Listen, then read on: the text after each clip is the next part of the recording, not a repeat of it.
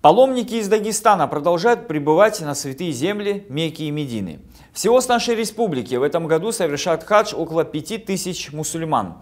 Накануне в город пророка Мухаммада, мир ему и благословение, прибыл рейс с паломниками из Южного Дагестана, которые участвуют в благотворительном хадже от Сулеймана Керимова.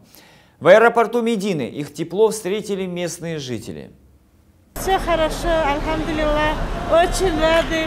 Давно мечтали попасть, вот наконец-таки наша мечта сбылась. Дай Аллах, кто мечтает, чтобы все сюда приехали. Аминь, Аллах. Тайтарского района. Мы так долго ждали на этом момент. Наконец-то дождались. Спасибо, Сулейман Каримов.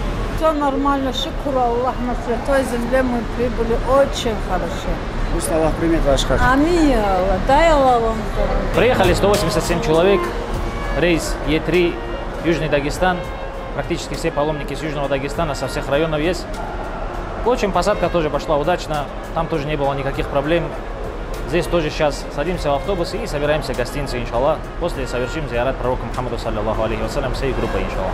Из Медины паломники отправятся в Мекку на встречу к священной Каабе, где и совершат главные обряды хаджа.